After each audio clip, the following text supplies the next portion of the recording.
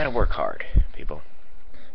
Gotta work hard. I mean, that's how Donald Trump does it. He gets up early. You know, I mean, you could turn these five pennies into five million if you plant them right. You know, just plant your pennies.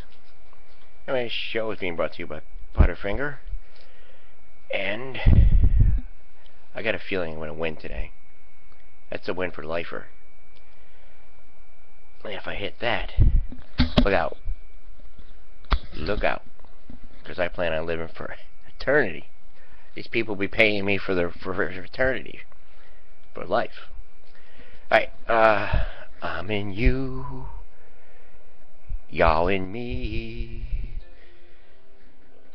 Cause you gave me. When I do that, I'm switching over to, the monitor. Uh, cause I gotta flip over to the song and then come back here. You. This freaking wing here. Right, it's early. And I just came back from the store.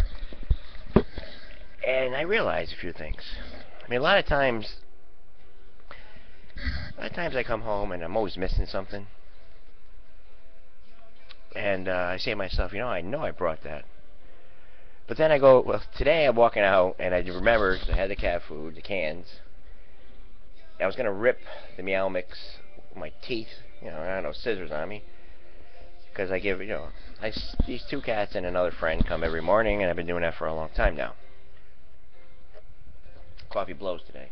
Right, um, cold. But, you know,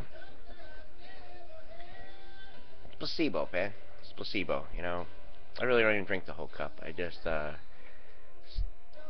actually started drinking coffee when I was doing papers in high school. Anyway, um, yes, I believe in angels.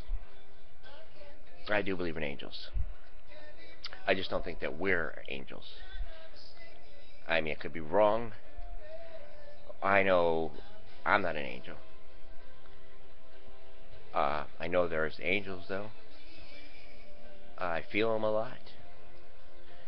Uh, just this morning, I was just talking to Frankie Franco, and uh, just thought of my aunt Lillian. Uh, she passed away maybe two years ago, but uh, I, I, you know, I knew her all my life. But I want to fast forward to the, to the late stages. I mean, for the whole year or, or two years, she was talking to me when I was going to college, and. Uh, you know, she was really believing in me. She was like a backer. And she used to write to me and call me, and she used to always talk about the Baltimore Ravens and the Baltimore Orioles, because they were from Ocean City, Maryland. And, uh, no, she believed in me, you know. And there's a lot of people. But she really did, like I said, she had a show in the 70s. It ran for about seven years. It was, it was called Town and Country. It was on ABC up here. You know, things were simple. Anyway, she was in the business for a while and she ended up going down uh, Baltimore and doing radio.